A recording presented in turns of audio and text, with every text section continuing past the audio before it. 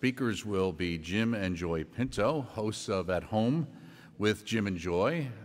And they're really a dynamic duo of the pro life movement who've spent their life fighting the villains of the culture of death here, not in Gotham City, but in Birmingham City at least. And uh, of course, you know them from their show, and also they draw on their experiences as husband and wife. They tackle marriage, family, pro life issues with our EWTN weekly program, multiple times a week, three times a week.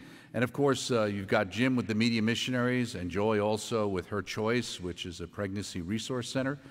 And they've been at the forefront of many aspects of the pro life movement and have particular solidarity with the preborn, dealing with minorities and the disenfranchised across the board. If somebody's in need, they've been there. They're effective and passionate communicators. I think you can attest to that from this talk coming up and also from just watching them over the years on the network. And uh, they believe in life, marriage, and the family, and that they're all part of God's plan to continue to transform the world. Again, Birmingham Zone by way of New Jersey, Jim and Joy Pinto.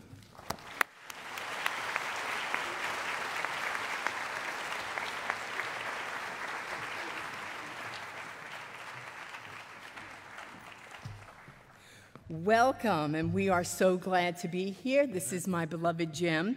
We're going to do like a little tag team wrestling. I'm going to go first, and then Jim will finish up. So um, we're so grateful to be here and to see you all. And as we know, the beautiful theme of this beautiful conference is I am the living bread. And so, what if we all received the next reception of our Eucharist as if it was our first, as if it was our last, as if it was our only. It would be a great difference in our souls. I want you to just close your eyes for a second and think about the first time that you received First Communion. The first time. Were you six? Were you seven? Were you beautifully adorned? Or were you an adult and you came through the RCIA program? And maybe you were coming in all alone. And maybe you were coming in and you had family members who were not supportive of that journey.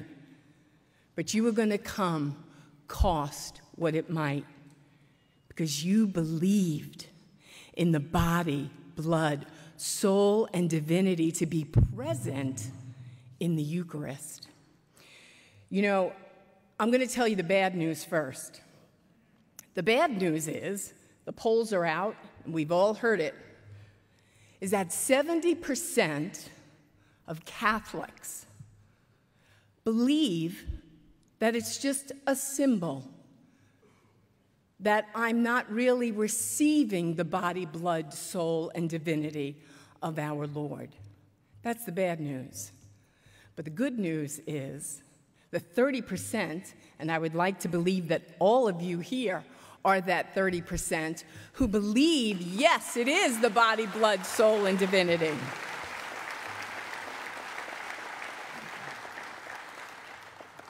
So I'm a convert. And I had to, Jim, you know, was an Episcopal priest for 22 years, and we took this journey. Jim did first. I came, maybe not so happy, but Jim was following truth and authority, and I just loved Jesus. And I just wanted to be wherever Jesus wanted me to be, but I really had no idea it was going to be in Catholic land. Anyway, that's a whole nother story. So I'm a convert, and so when, when we left Protestant land and we came to the Catholic Church, I had to go through that, you know, RCIA program. And, um, and it was very humbling for me, just gonna tell you. Um, I was the pastor's wife. I believed in my tradition in the Episcopal Church that I was receiving the body, blood, soul, and divinity. Because in the Episcopal Church, it could be whatever you really wanted it to be. It could be a memory, it could be in remembrance, whatever. That's why we left. Anyway, so I had to wait. I had to wait. I had to go to Mass and go up and do this and get a blessing. And I would go back to my pew crying week after week after week because I wanted Jesus. I was like the deer panting for the water. My soul was longing after. I believed, I believed. I wanted to come in, like, let me come in. And so we were coming under the authority of the, of the Catholic Church, and we waited. And so one day after Mass, I grabbed the priest who was Father Noel Danielowitz. He was a Franciscan, and I grabbed him by his stole. And I said, Father, I can't wait anymore. I need Jesus. Like, you gotta give me Jesus. And he said, Well, Joy, you know, you have to wait until Easter Vigil, blah, blah, blah. And, um, and so he said, But why don't you try Eucharistic adoration? I was like, well, I don't know Eucharistic adoration. I'm Protestant. Like what? What do I do? What do I, what do I, what does that mean? So he said, Come into the chapel and I'll show you. So he came into the chapel, and then I started to adore, and I started to love, and I started just to be with Jesus. And it was a step closer, but I wanted him. I wanted him. And so that night when we came in and we went and all made our confession, three of my four grown children came in with me and our son in law, Nate. And we, um, we made our confession that Friday, and that Saturday we came in and we were at the Easter Vigil. And I said to the priest, I said, You know, Father, I'm not going to be responsible for what's going to happen to me because I've been waiting so long. I, am not responsible. I could implode, I could explode. I don't know what's going to happen. But you are going to give me the bread of heaven, my Lord, my love. I can't believe this. And so I went up and he said, The body of Christ and he put Jesus on my tongue. And my head went boom, straight into his chest. And I just wept and wept. In front of all these people, I didn't care. I didn't care. I had Jesus. He was back inside of me, and it changed me. It changed me.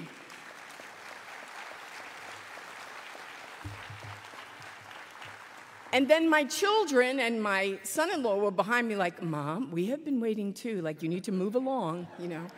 And I graciously moved along, but then just got back to my pew and just wept and wept and wept. And is it emotional? Yeah, it should be emotional. God Almighty is coming and living inside of you and me. We should have a response. The interior of us is consuming Him, and He is giving us the opportunity to consume us. More of Jesus, less of you. More of Jesus, less of you. That's the journey to holiness. That's how we do this. And it's so beautiful.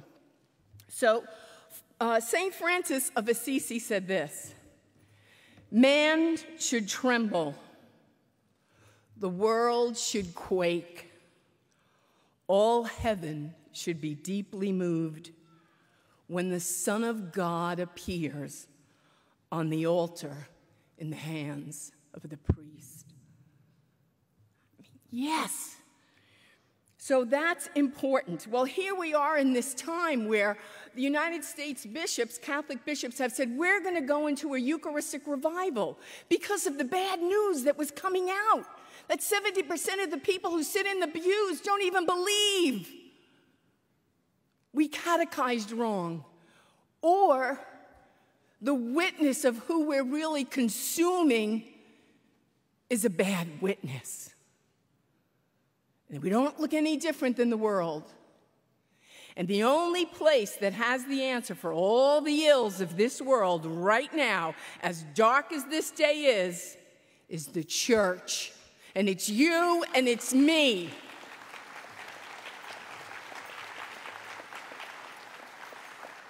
So, how do we prepare? How do we go? Well, we go to confession.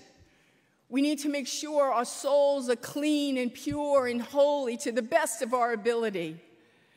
The bishops want us to believe that what we are receiving is the body, blood, and soul divinity. And if you don't believe it, just ask Jesus to help you. Say, Lord, help my unbelief. I don't believe. He'll help you because he wants you to believe. Ask the Blessed Mother the mother of the Word of God, to pray for you, that she would help you to see and know and to receive what you are, what you are receiving and believe it with all of your heart, soul, mind, and strength. We need to worship Jesus. And Deacon uh, Harold shared about it this morning about knowing the liturgical silence there's so much noise in the world. We need liturgical silence. Wait. When you go up to receive, I'm saying three things to Jesus Jesus, I love you. Jesus, I need you. Jesus, I trust in you.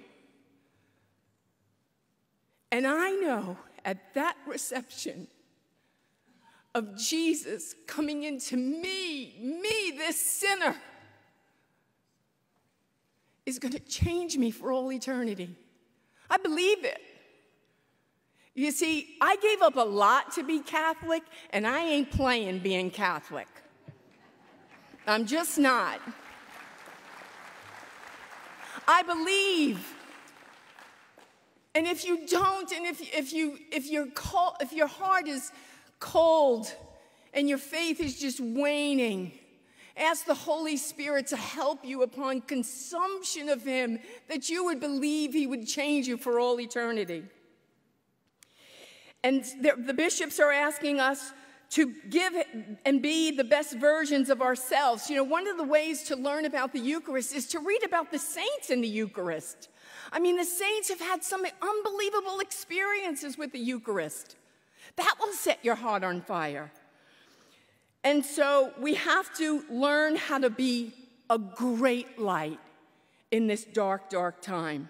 You know, I was in church with our grandsons, and this was before COVID, and it was RJ and James, and they were four. And I'm married to this great man here for 46 years. Yeah. But make no mistake about it, it's Jim, it's joy, and where's that crucifix? It's Jesus.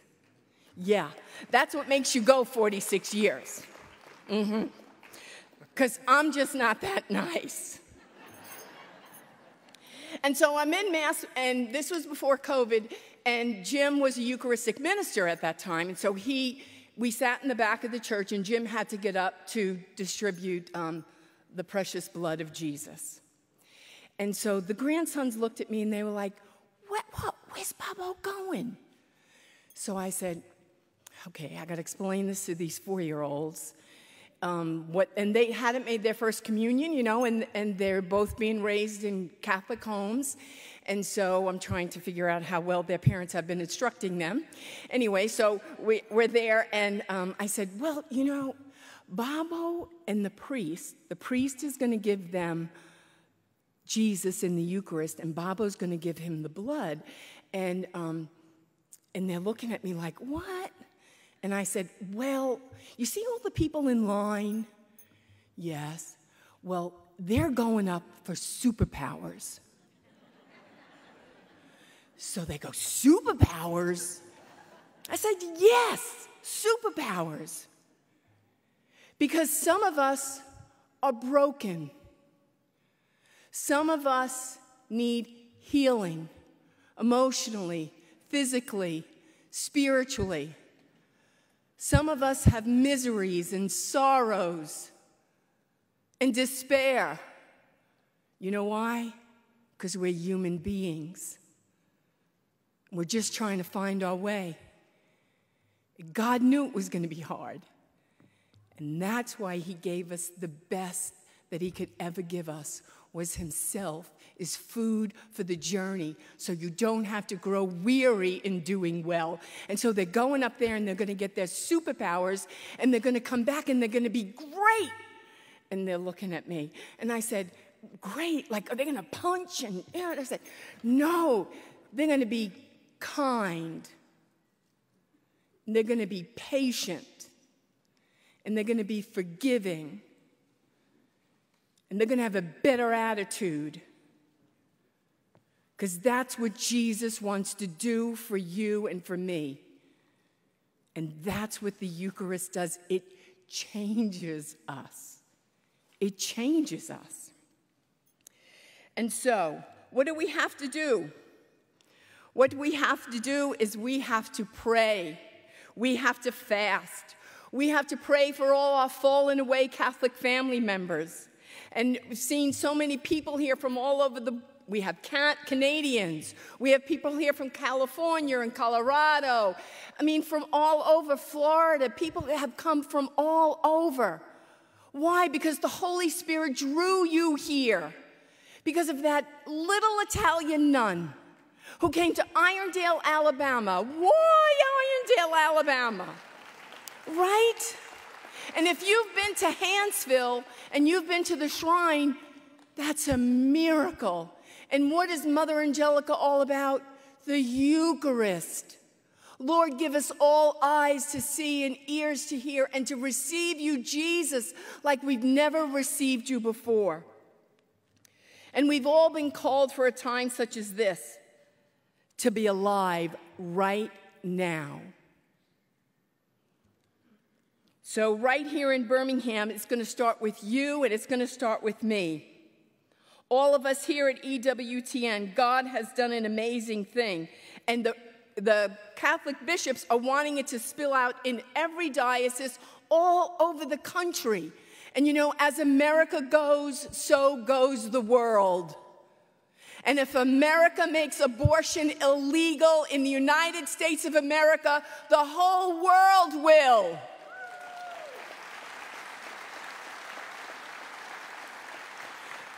Fulton Sheen has said this The broken minds and the tortured hearts testify to the fact that nothing can satisfy the soul hunger of man except a nourishment suited for his soul and its aspirations for the perfect. Man's soul, being spiritual, demands a spiritual food in the order of grace. This, this divine food is the Eucharist, or the communion of man with Christ and Christ with man. I mean, how could this be? How could we explain this? You know, Father Wade got up here and Deacon Harold, and they were talking. It's a mystery. You can't explain a mystery but you have to participate in it. All of you have to participate in it. And you have to say, Jesus, I'm all in. Because he was all in. He spared nothing. He was all in so that he could give you life and me life and to give it abundantly. You know, as a Catholic, you can receive the Eucharist every single day.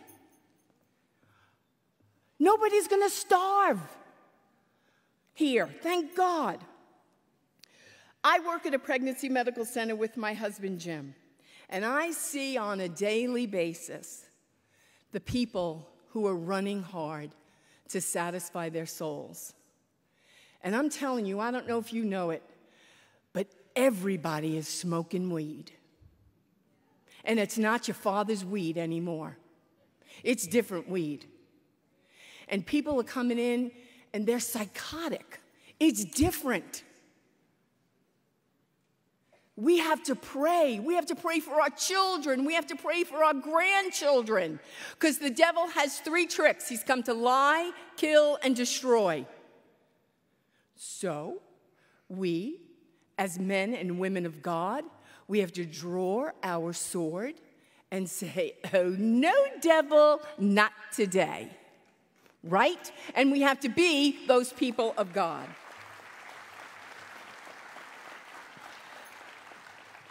St. John Vianney said this There is nothing so great as the Eucharist.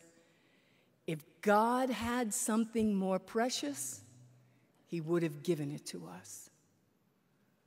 God, give us eyes to see.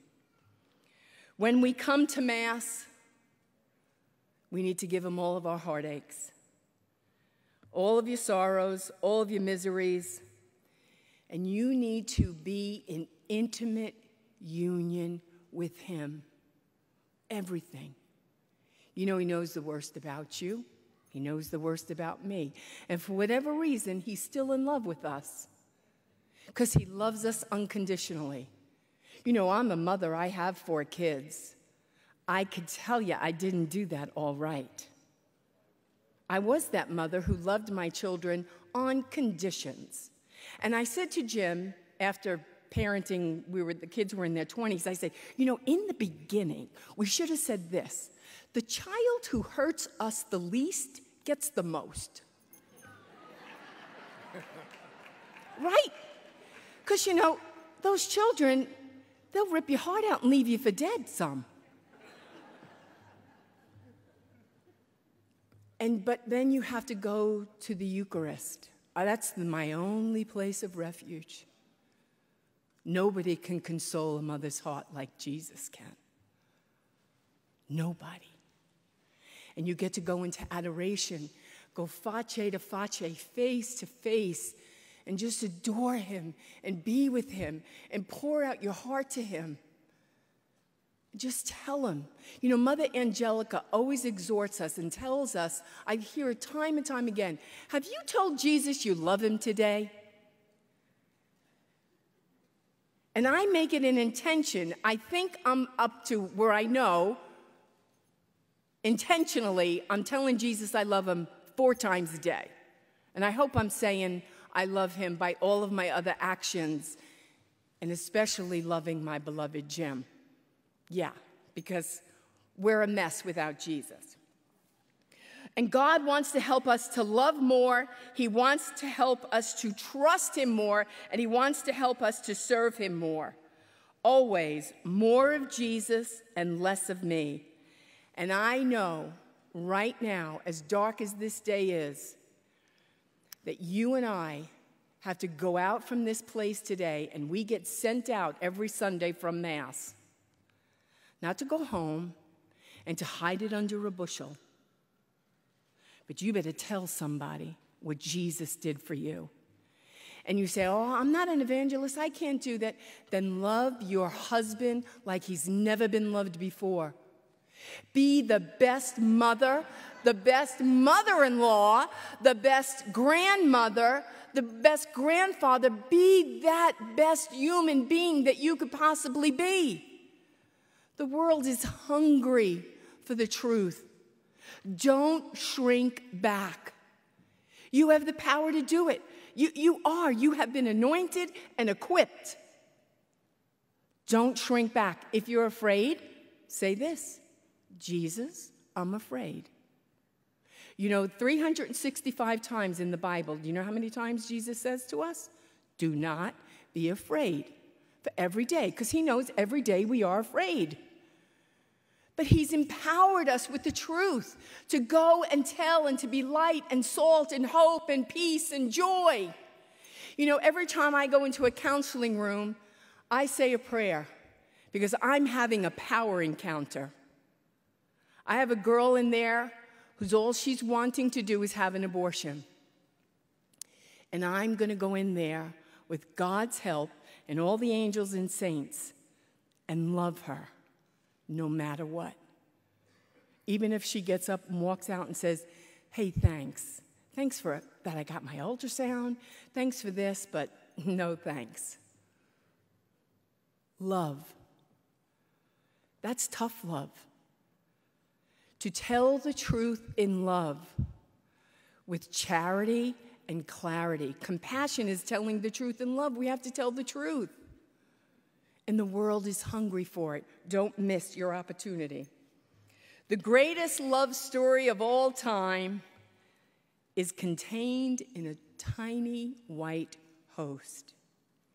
He is our Lord, our King, and He is alive today just as He was 2,000 years ago, and He wants to satisfy the longing of your soul and mine and He wants to change your marriage. He wants to change your family. He wants to change your workplace. And He wants to make a difference in the world. The problem is, He needs you and me to participate with Him so we can go and do what He's called us to do.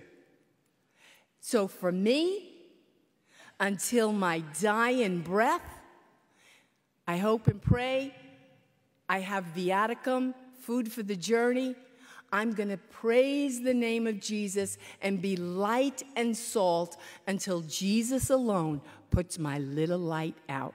God bless you.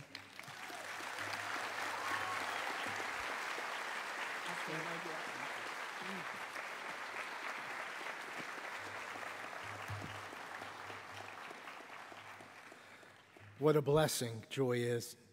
And uh, you think she's beautiful? I think she is. well, that bodes well for me because, you know, Jesus taught me a long time ago. He said, Jim, you're just a stand in for me. He said, I'm married to her. And you're standing in now physically, but I'm married to her. And I'll know your faith by the way she looks. And he means not only outward, but inward, spiritual. And when I when I go up to receive the Eucharist, Joy is always in front of me, and I, I see her walking down, and I'm just saying to the Lord, How does she look, Lord? I mean, how does she look? Because you said, you know, the way she looks will determine where you're going, basically. You got to love somebody all the way to the grave. And that's somebody's joy for me. So I'm glad she's looking beautiful. Um, yeah. So, just a, just a few quick thoughts. I, when we were told what the theme of this time would be, I, I am the living bread. I had never really meditated upon that. And when I'm giving talks or when I was preaching sermons, that would be my main form of preparation, is to simply meditate upon the passage or the word. So for the last you know, few months or so, just meditating and, and saying, Have you ever meditated upon I am? That, that that was the way God revealed himself to Moses. Poor Moses, weak in so many ways, strong in so many ways, unable to speak, whether he stuttered or whatever it was. The great nation of Egypt, he calls Moses to be the deliverer for them. You know, and Moses is saying, who, who should I say sent me? And God says, I am. I will be who I will be. You tell him, I am sent you. I mean, the Jews don't even say that name, I am.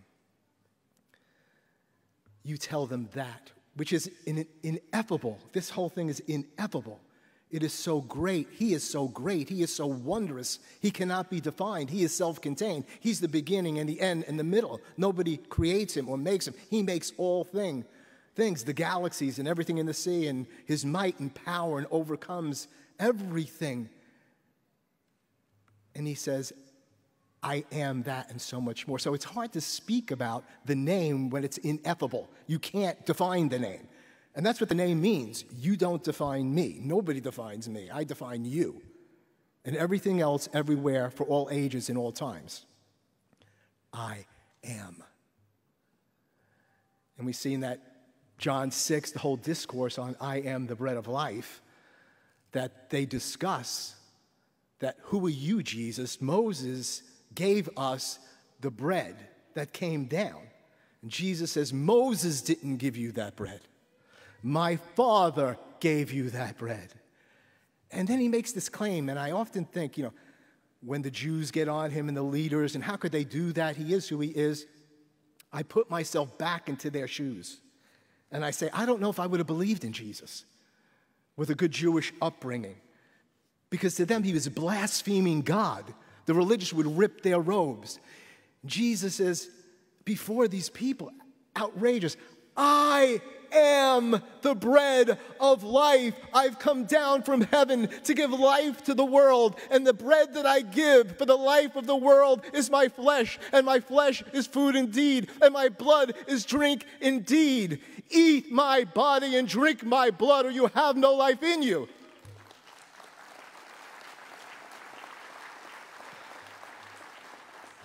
Well, I know how I respond to that now, of course. But for those poor men and women that are there, I am the bread of life. Who says that? I am the light of the world. He who comes to me will never be in darkness.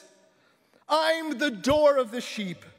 I am the good shepherd. Everybody knows that God the Father is the shepherd. I'm the good shepherd. I am the resurrection and I am the life. He who believes in me, even if he dies, he will live. I'm the way.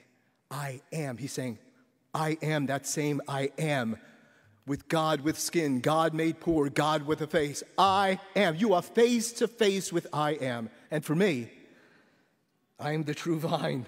Before Abraham was, I am. I am. I am. I mean, he's there. True existence is there. Imagine if he would have said to Moses and took it further. Moses was on his knees at the burning bush, and Moses is like, oh, okay, you know, my gosh. What if he said to Moses, and I want to come into you? I want you to eat me. He couldn't say that. The, Jesus, the Logos had not come yet. But we get to hear from Jesus, I am is here. He's the face of God revealed, God with skin, God made poor. And he says, Eat me. You must eat me, and you must drink me. So I pray, as I did for a couple of months. I never would have done it except I had to be up here and have something to say about something you can't really talk about because it's ineffable. That's an assignment. And that you say it and you think to yourself, if he comes into me, the creator of all this, I'm just going to die. He's going to kill me. I mean, how can he come into this vessel? But somehow, some way, he, he does that. He's so merciful. And so he bids us the only way we can come, as it says in John, no one can come to me. Like, no one can receive this word unless the Father beckons him. Come to me. Come to me, you sinner. Come to me, unclean vessel. Come to me, all you who travel and are heavy laden, and I will refresh you. Take my yoke on your neck and learn from me. I'm gentle, I'm lowly of heart. I am who I am, God the merciful, God forgiving, as well as God the creator and who could destroy everything he created in a moment. God who needs nothing from anyone, who's totally self inclusive. But God wants us.